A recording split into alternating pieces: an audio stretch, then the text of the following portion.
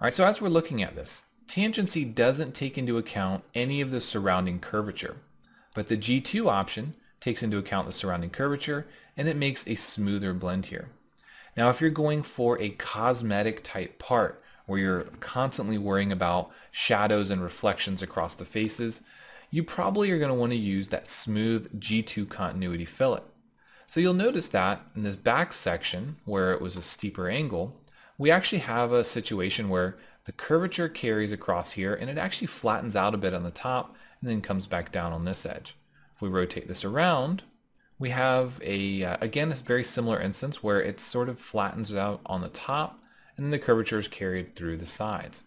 So again, this is a great result if you're talking about doing more consumer type products where you have to worry about reflections and how they go across the edges because this is a very important situation and not all CAD packages can handle smooth G2 continuity with fillet edges. So it's a very welcomed addition to Inventor. So now let's go ahead and hide Solid 2 and let's bring back Solid 1 and talk about some other options. So if we go into apply a fillet and we're going to expand the options, we now see that they're not all grayed out anymore.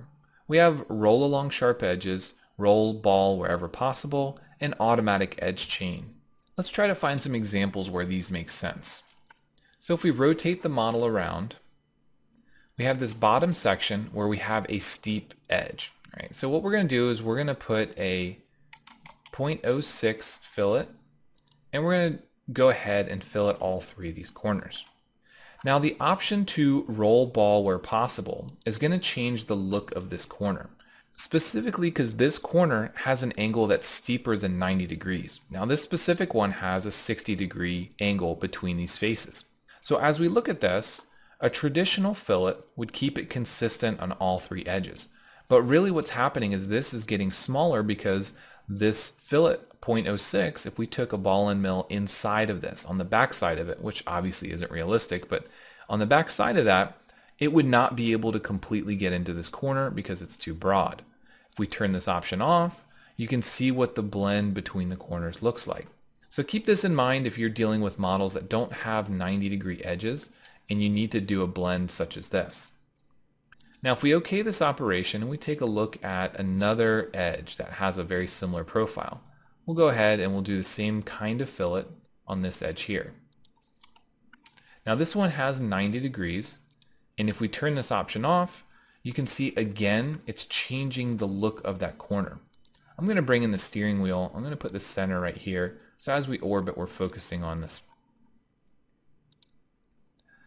So again, let's take a look at this. Keep in mind that turning this option off changes the look of the corner, changes the way it blends, and leaving it on brings all three fillets nice and tight as far as they'll go until they intersect each other.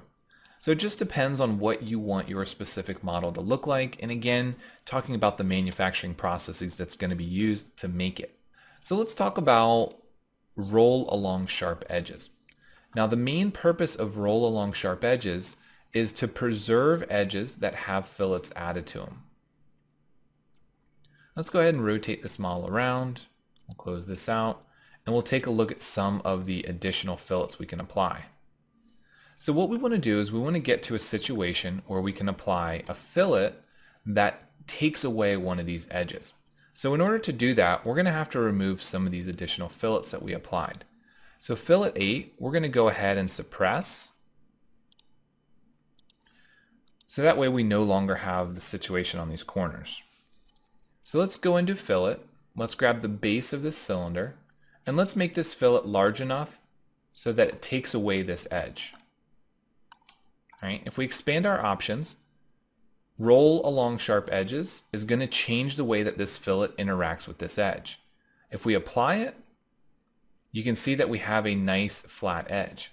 So roll along sharp edges will take into account what happens to this edge. Some fillets will actually raise a bump on this edge, but you now have an option inside of Inventor where you can dictate what happens to this edge. If you want to preserve the fact that it stays straight, or if you want to allow the fillet to raise it up.